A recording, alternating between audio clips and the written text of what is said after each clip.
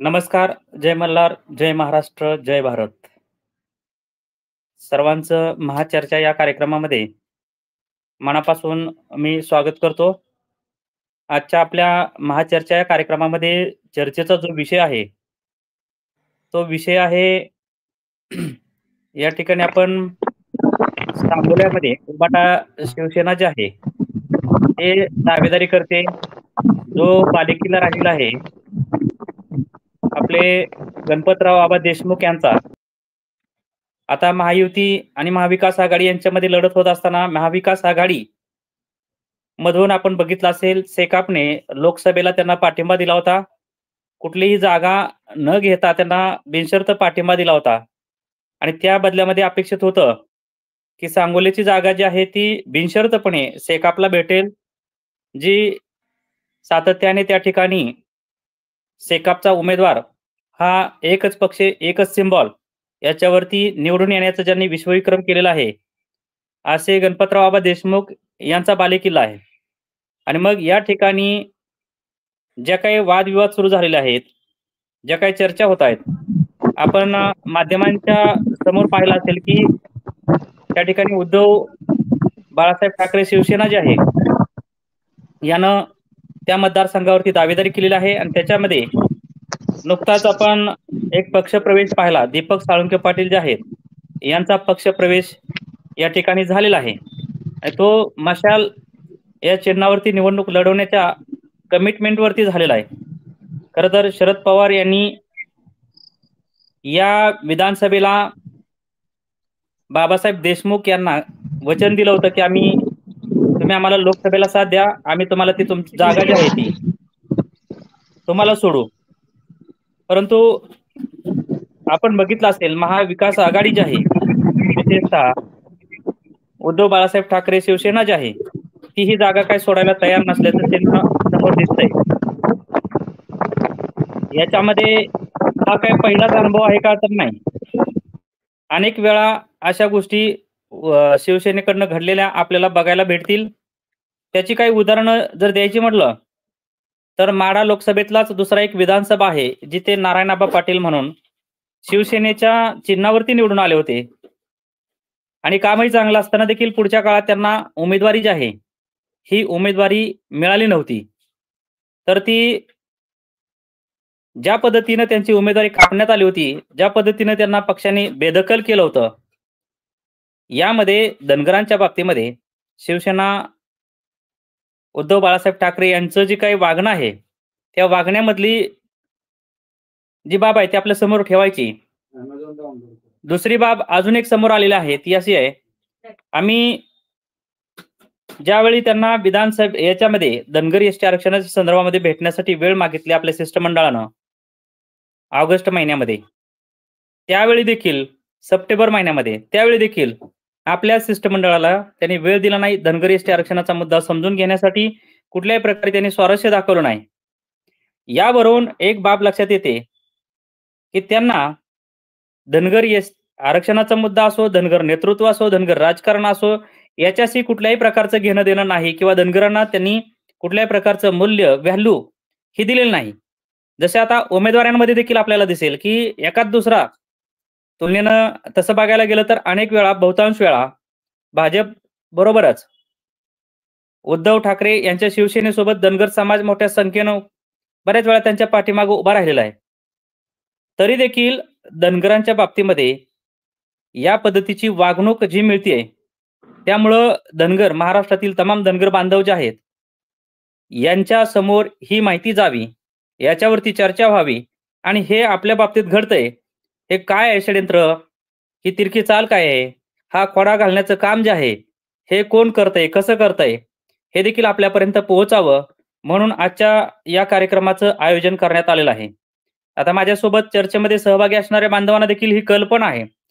लोकसभेला देखील आपण अनुभव घेतलेला आहे. परभणीमध्ये देखील अशा पद्धतीची वल्गना त्या ठिकाणी उद्धव ठाकरे यांनी केली होती. पाडण्याच्या बाबतीमध्ये. मग ह्या गोष्टी आपल्यासमोर आपण ठेवतोय. तर मी चर्चेमध्ये सहभागी असलेले सुभाषजी गोंद्रे असतील शशिकांतजी जानकर असतील अजून बरेच मान्यवर चर्चेमध्ये सहभागी होत आहेत. ते या माध्यमातनं त्यांचे अनुभव असतील त्यांच्या पक्षातले अनुभव असतील तिथे बघितलं असेल तर प्रस्थापित मंडळींनाच मोक्याचं स्थान आहे उमेदवारी आहेत. हल्ली तर त्यांच्यासाठी पायघड्या टाकल्या जात आहेत. आणि या उपेक्षित धनगर जमातीला मात्र ना उमेदवारी आहेत ना तिथं स्थान आहे ना महत्त्वाच्या पदांवरती त्या पक्षामध्ये स्थान आहे. आणि तरी देखील आपली मंडळी तिथं काम करतात. त्यांना मतदान टाकतात. केवळ भावनिकतेपोटी मतदान टाकतात. बाळासाहेब ठाकरेंच्या पोटी मतदान टाकतात.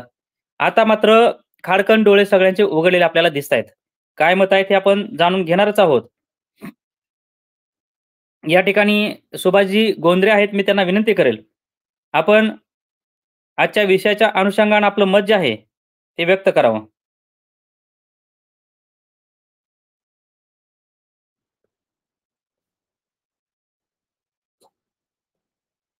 आवाज येतोय माझा? सुभाषजी? ठीक आहे. सुभाषजींपर्यंत आवाज पोहोचत नसेल तर मी शशिकांत जानकर आहेत. यांच्याकडे जातो. शशिकांतजी बोला.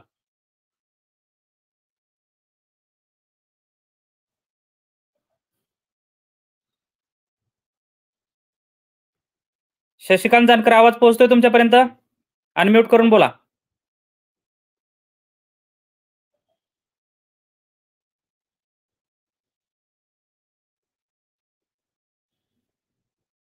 शशिकांत जी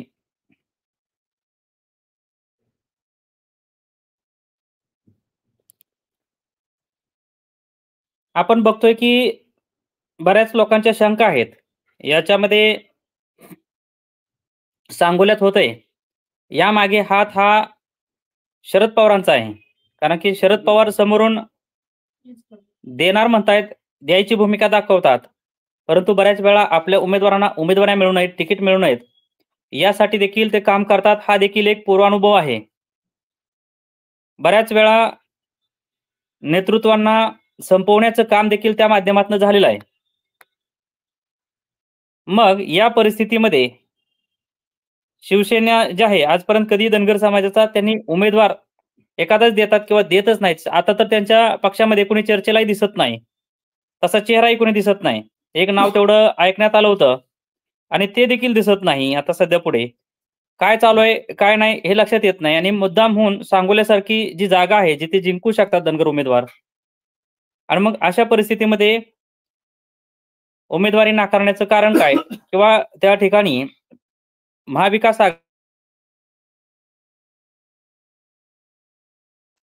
या बाबतीत आपल्याला चर्चा करायची आहे.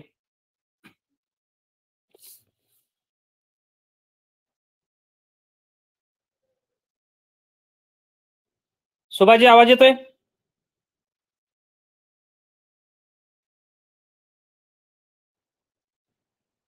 सुभाजी आवाज येतोय? आपल्यापर्यंत आवाज पोहोचतोय का? सुभाजी गोंद्रे हॅलो? शशिकांतजी आपल्यापर्यंत आवाज पोहोचतोय?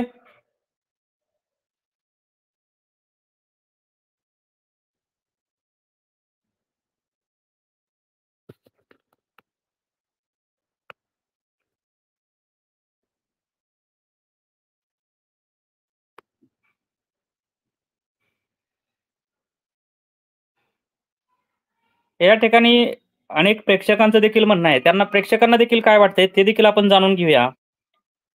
त्यांना आपल्या मताची गरज नाही असं काही प्रेक्षकांचं म्हणणं आहे. निश्चितपणे आता हे दोन कोटी धनगर बांधवांच्या मतांची गरज जर नसेल तर या पक्षाला काही देणं घेणं वाटत नाही. कारण की आपण बघतोय मुख्यत्वे त्यांचा भाग उद्धव ठाकरेजी यांची कार्य हे जास्तीत जास्त जर बघितलं आपण मुंबईत आहे आणि ग्रामीण भागाशी तसं बघायला गेला तर टच फार कमी आहे.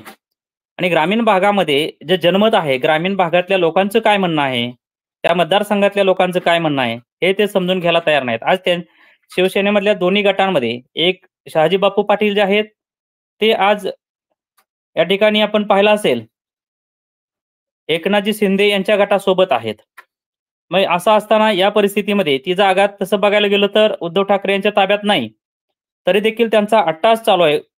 आपण या ठिकाणी संजय राऊत यांची काही स्टेटमेंट्स ऐकली आहेत. आणि संजय राऊत यांचा दावा त्या मतदारसंघावरती आहे. शरद पवारांनी जरी कमिटमेंट केलं असलं तरी आमच्या पक्षाने तिथं कोणालाही कमिटमेंट केलं नाही असं त्यांचं म्हणणं आहे. आणि हे दुर्दैव आहे.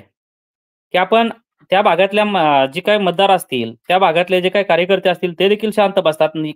महाराष्ट्रातील कार्यकर्ते जे आहेत ते शांत बसतात. हे देखील दुर्दैवच म्हणावं लागेल. आणि म्हणून हे जे काय घडतंय तिथले काय आहे तिथल्या ना बांधवांची काय मतं आहेत? शशिकांतजी बोला. शशिकांतजी.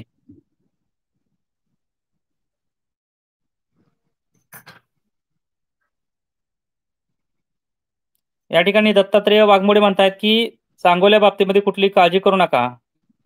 त्या भागातील बहुतांश मतदार जे आहेत हे देशमुख परिवाराच्या पाठीमागे राहणार आहेत. आणि त्या ठिकाणी लढाई जी आहे ती दोन उमेदवार आहेत. तीन उमेदवार मुख्य उमेदवार असणार आहेत. एक बाबासाहेब देशमुख असू शकतात किंवा अन्य अनिकेत देशमुख जो त्यांचा पक्ष ज्यांना उमेदवारी दिलते दुसऱ्या बाजूला दीपक साळुंके पाटील असतील. तिसऱ्या बाजूला जर तब्येतीने साथ दिली तर शहाजी बापू असतील. असं एक समीकरण त्या मतदारसंघामध्ये आहे. यामध्ये नेमकं काय करायचं काय नाही हे आपण मतदारांच्या देखील भावना जाणून घेत आहोत. आणि मतदारांच्या देखील भावना आहेत की त्या ठिकाणी शिवसेना उद्धव बाळासाहेब ठाकरे यांनी माघार घ्यावी आणि महाविकास आघाडीचा जो काही आघाडी धर्म आहे तो पाळून उमेदवारी जी आहे ती देशमुख कुटुंबातील उत्तराधिकारी म्हणून जे काम करतायत त्या ठिकाणी बाबासाहेब देशमुख किंवा अनिकेत देशमुख असतील. यांच्या पाठीमाग उभं राहावं अशा पद्धतीची धारणा अशा पद्धतीची भावना आहे. बापूसाहेब आपण पाहिलं असेल उद्धव बाळासाहेब ठाकरे शिवसेनेचे जे काही कृत्य आहेत ज्या पद्धतीने उमेदवाऱ्या दिल्या जात नाहीत आपल्या आरक्षण मुद्द्याकडे दुर्लक्ष केलं जातं. दुसऱ्या बाजूला सांगोल्यामध्ये त्या ठिकाणी जिंकण्याची संधी असलेल्या उमेदवाराला युती आघाडी धर्म असताना तो पाळला जात नाही. नेमकं तुम्हाला काय वाटते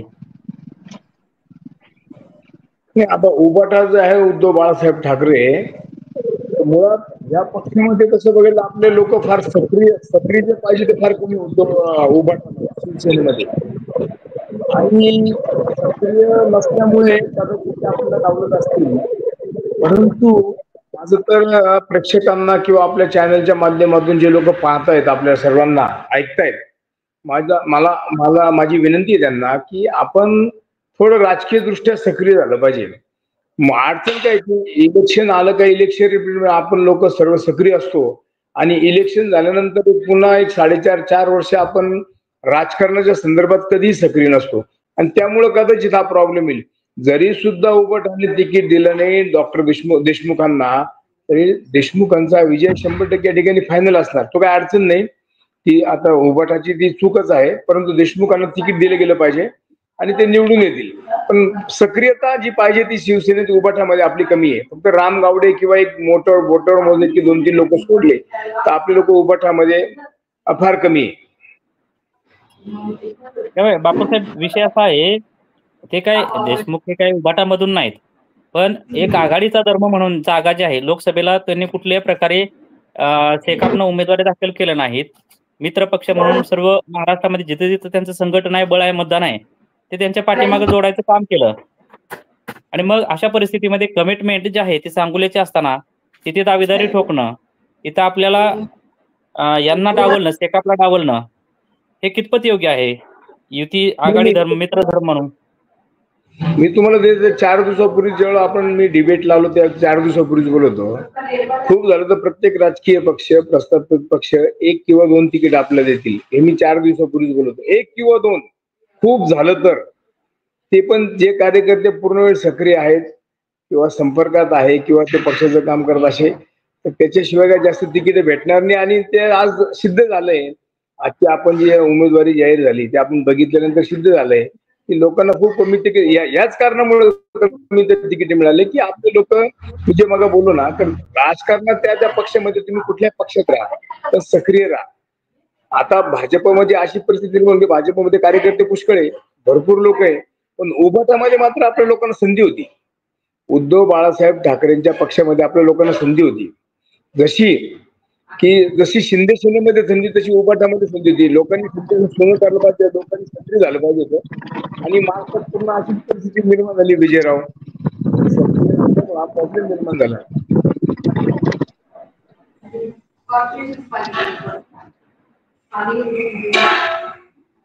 ओके आपल्यासोबत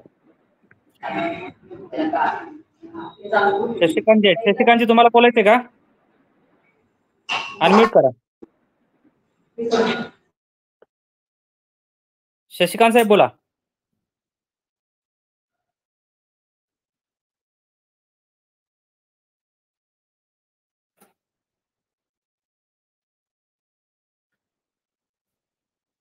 ओके.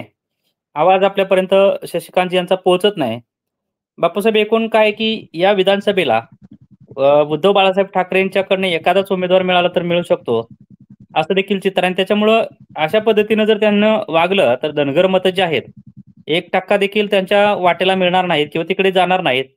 किंबहुना धनगर मतं हे शिवसेना उद्धव बाळासाहेब ठाकरे यांच्यावरती बहिष्कार देखील टाकू शकतात. कारण की अनेक मतदारसंघामध्ये जर आपण पाहिलं असेल धनगर मतं जे आहेत न मागता मागच्या वेळेस लोकसभेला त्यांच्या पारड्यात टाकलेल्या आपण अनेक ठिकाणी पाहता येतील आपल्याला. महाविकास आघाडी म्हणून जे आहे ती धनगर मतं जे आहेत ती त्यांच्या पारड्यात पडलेली आहेत. कुठल्याही प्रकारची त्यांनी त्यासाठी मेहनत घेतली नाही. ऑटोमॅटिक भाजपला विरोध म्हणून केवळ मतं जी आहे ती त्यांच्या पारड्यात आपल्याला पडलेली दिसतात. बापूसाहेब.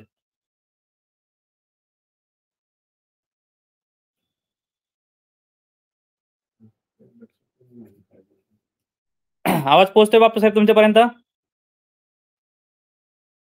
अनम्यूट करा. म्हणजे बिना कष्टाची लोकसभेला महाविकास आघाडीमुळं या ठिकाणी ठाकरेंच्या पारड्यामध्ये आपली मतं पडलेली आहेत. त्याची जाणीव त्यांना दिसत नाही त्याचा अभ्यास त्यांना दिसत नाही त्याचं अनालायसिस त्यांच्याकडे दिसत नाही. म्हणून त्यामुळं सांगोल्यासारख्या ठिकाणी अशा पद्धतीची भूमिका घ्यायचं धाडस करतायत की ज्याचा फटका महाराष्ट्रभर बसू शकतो.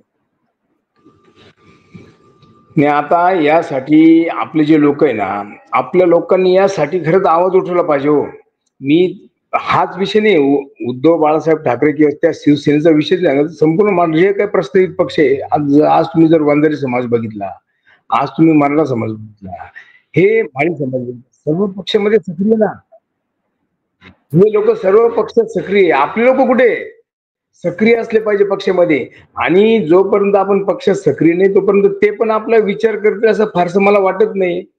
आता बघा याचा फटका शंभर टक्के उभाटाला म्हणजे टोटल उभाटा असेल किंवा शरद पवार तुतारी असेल किंवा तुमचं काँग्रेस असेल. परंतु महाविकास महायुतीपेक्षा महाआघाडीला याचा फटका मोठ्या महाआघाडीपेक्षा महायुतीला फटका बसेल. कारण लोकांची भिस्त जास्त त्यांच्यावरती होती. की निदान या शिवसेना भाजप आणि राष्ट्रवादी काँग्रेस अजित पवार पाटील काय द्यायला पाहिजे होतं.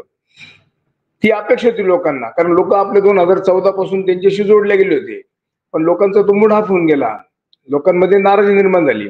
तर त्याच्यामुळे माझ्या माहितीप्रमाणे आपल्या लोकांचा फार मोठा महाविकास आघाडीला किंवा उद्धव बाळासाहेब ठाकरेला फटका बसणार नाही. परंतु जी सांगोलीची जागा आहे ते विनिंग सीट आहे. आणि जो तुमचा शहाजी पाटील जे होते हे बंडखोरी केले तर त्यांना डावलून आपल्या माणसाला खरं तिकीट द्यायला पाहिजे होतं. कारण अकरा वर्ष अकरा पंचवार्षिक ज्या माणसांनी त्या ठिकाणी निवडणुका लढवल्या आयुष्यातले तिथं कष्ट केलं समाजासाठी काम केलं त्या त्या परिवारातल्या एखाद्याला त्यांनी त्यांना होती. पण आता उद्धव बाळासाहेब ठाकरेंनी ती मोठी चूक केलेली आहे.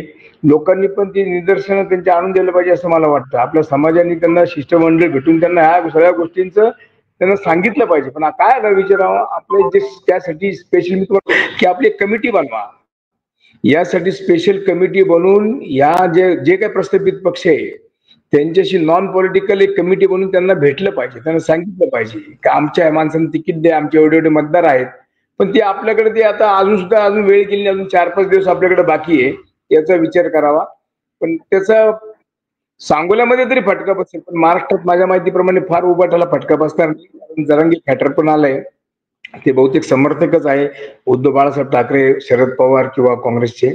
तर त्याच्यामुळे काय फार मोठा फटका पण पण सांगोल्यामध्ये फटका बसू शकतो. निर्णायक मतदान आहे. मोठ्या प्रमाणात आहे. गणपत आबांची परंपरा आहे तिथे.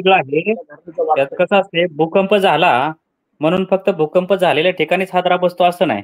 त्याचा एक परिघ असतो आणि ते केंद्रापासून काही ठराविक अंतरापर्यंत त्याचा फटका बसतो. त्याच्यामुळं सांगोल्यात जर दागा फटका झाला सांगोल्यात जर डावललं गेलं तर त्याच्या आजूबाजूच्या शंभर दोनशे शंभर किलोमीटर परिसरात त्याचा जो काही फटका आहे महाविकास आघाडीला महाविकास आघाडी म्हणून शंभर टक्के फटका बसू शकतो. कारण की ज्या भागामध्ये हे उमेदवार म्हणून आहे सांगोला त्याच्या आजूबाजूला प्रचंड मोठं धनगर मतदान आहे. धनगर बहुल एरिया आहे. आणि त्यामुळं महाविकास आघाडीला आपल्याला फार मोठा फसका फटका बसेल. याचा अर्थ महायुतीला फायदा होईल असं बिलकुल नाही. त्याचा फायदा कदाचित जे काही वेगळे घटक समोर आहेत त्यांना देखील होऊ शकतो. आपली लोक एकतर आरक्षण विषयावरनं महायुतीवरती नाराज आहेत महाविकास आघाडीवरती नाराज आहेत त्याच्यातच अशा कुरगुडी होत असतील त्याच्यामध्ये अशा पद्धतीची कुटील कारस्थानं होत असतील तर धनगर जमात जी आहे आता सध्या सोशल मीडियाच्या माध्यमातून जागरूक होताना दिसती. त्यांच्यासमोर सगळं चित्र उभं राहतंय. जे सांगोल्यात होते ते गडचिरोलीतल्या धनगरापर्यंत पोहोचते त्याच्यामुळं हा जो काही फ्लो आहे रोष आहे एक प्रकारचा मधल्या काळात एक दोन तीन महिन्यात प्रचंड मोठा एक रोष निर्माण हो-, झालेला आहे. तो रोषाचं अं, जर आपण परिमार्जन म्हटलं रोष जो आहे तो दिसणार आहे मतपेटीतून दिसणार आहे. आणि मग ही वोट बँक जी आहे ती विसरून जाणार नाही की आपल्याला असं होतंय असं डावलं जातंय उमेदवार दिली जात नाही जिथे उमेदवारी प्रबळ दावेदारी आहे जिंकणार आहे अशा ठिकाणी जाणीवपूर्वक वेगळी समीकरणं केली जात आहेत आपल्या उमेदवारी नाकारल्या जात आहेत आणि मग मागचा हिशोब देखील आहे करमाळ्याचा हिशोब आहे परभणीचा हिशोब आहे वेगवेगळ्या ठिकाणी हिशोब यांनी केलेली कारस्थानं कारण की स्पेशली उद्धव बाळासाहेब ठाकरे शिवसेनेनं आतापर्यंत धनगरांच्या बाबतीमध्ये कुठल्याही प्रकारची प्रोएक्टिव्ह भूमिका घेतलेली दिसली नाही. आणि त्याच्यामुळं हा हिशोब जो आहे तो निश्चितपणे होईल असं जाणवते बऱ्याच ठिकाणी जाणवते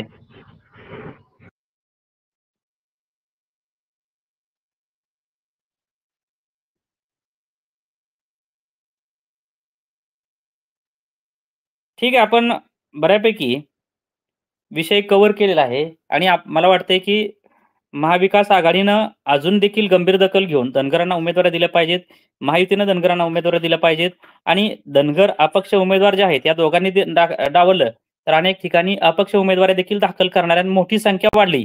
उमेदवारी दाखल करण्याची संख्या जर बापूसाहेब बघितलं ना महाराष्ट्रामध्ये अनेक ठिकाणी संख्या वाढलेली आहे. हे देखील सत्य आहे. आणि म्हणून बांधवांनो जे तुमच्यापर्यंत पोहोचतंय ते आपण घराघरामध्ये नेऊन पोहोचवा. शेवटच्या धनगर बांधवांच्या पर्यंत नेऊन पोहोचवा. ही जागृतीची प्रबोधनाची मोहीम आपण सगळ्यांनी खांद्यावरती घेऊ आणि सकल धनगर जमातीला जाग करून सोडू.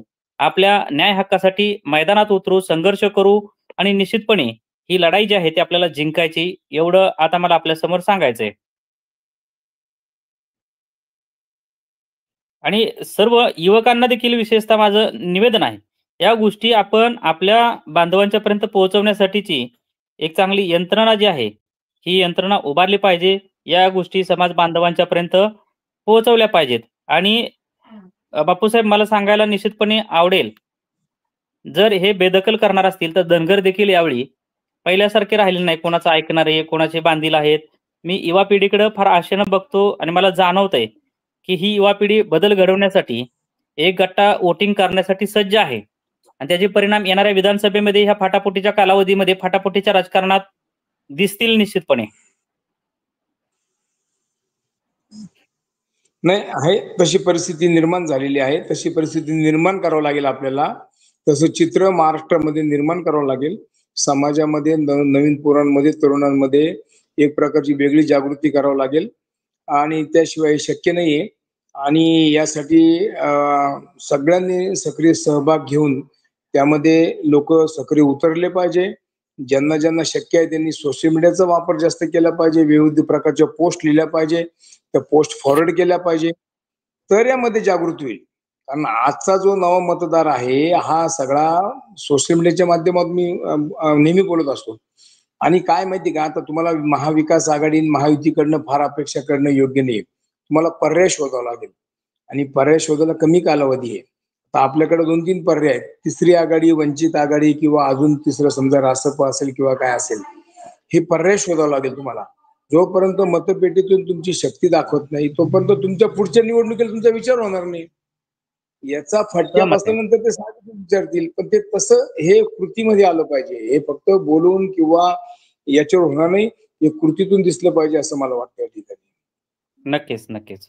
तर बांधवांनो या गोष्टी तुम्ही देखील लक्षात घ्या. रोज आपण प्रबोधनाचे कार्यक्रम घेतोय जागृतीचे कार्यक्रम घेतोय. हे खाली तळागाळात पोहोचलं पाहिजे. सर्वसामान्य लोकांपर्यंत पोहोचलं पाहिजे आणि ही पोहोचवायची जबाबदारी आपल्या प्रेक्षकांवरती आहे. चॅनल सबस्क्राईब केला नसेल तर कृपया सबस्क्राईब करा. लाईक शेअर करायला विसरू नका. कमेंट्स तुमच्या काय असतील या विषयाच्या अनुषंगानं आजच्या चर्चेच्या अनुषंगानं त्या देखील कमेंट करून आम्हाला कळवा.